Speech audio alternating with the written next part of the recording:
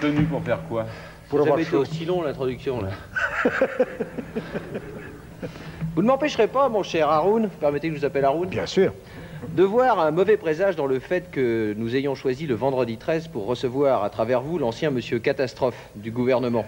Et vous pardonnerez, j'espère, la tenue outrancièrement protectrice que j'arbore au cas où de la conjonction de votre venue et de ce jour ordinairement maudit naîtrait quelque calamité d'ordre biologique, chimique, sismique, bactériologique, voire même nucléaire. Et pourtant, je ne suis pas superstitieux, ça porte malheur.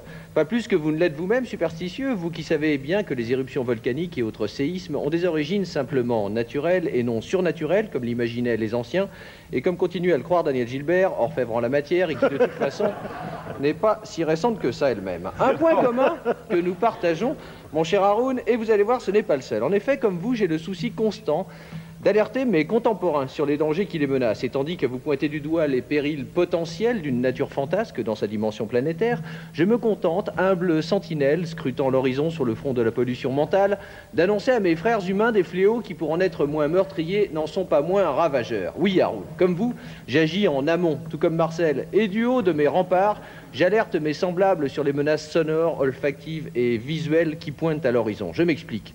Ne fus-je pas le premier à mettre en garde les narines de nos téléspectateurs sur les effets nocifs de nouvelles substances asphyxiantes telles le malouf, le prétendu parfum aux extraits de pois chiches et à l'essence de merguez lancé sur le marché, telle une grenade paralysante par Enrico Macias hein De même, n'ai-je pas payé de ma personne comme un de ces héroïques pompiers de Tchernobyl en allant jusqu'à déboucher un flacon de l'eau de toilette inconsciemment balancé sur le marché par Stéphanie de Monaco, m'irradiant par la même irréversiblement de ses effluves mortifères N'est-ce pas moi encore qui, inlassablement, soir après soir, met en garde les plus jeunes de nos fidèles sur les effets désastreux de trop longues expositions aux radiations dorotesques sur celle qui en a qu'une hein?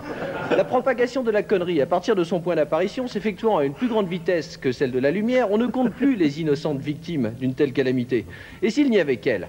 De même qu'avant les grands séismes, les animaux, fous de terreur, se mettent à cacter, hennir, croasser, aboyer, ululer, piailler, bêler frénétiquement. Que fais-je de plus lorsque je m'agite en tous sens à l'approche du retour sur scène de Chantal Goya et de ses nains sodomites? Hein?